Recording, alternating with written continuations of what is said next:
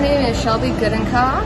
Um, I just really like the staffing and I like how it's open 24 hours and you can come anytime because I work 12s and sometimes it's night shift, sometimes it's day shift, you never know. Um, I really love the atmosphere. Nobody's really watching you. Everybody's doing their own thing, getting their workout in. Nobody's slamming weights. I feel very comfortable here.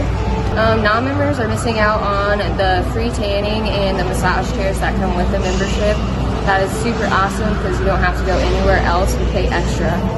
Um, I am now 50 pounds lighter than I was a year ago and I'm still working on it. I'm Chris Myers. Colaw Fitness is great because staff's really friendly I'm always able to get on a machine whenever I want to. Um, it's pretty laid back. Everybody's chill. Nobody's like rude or anything like that.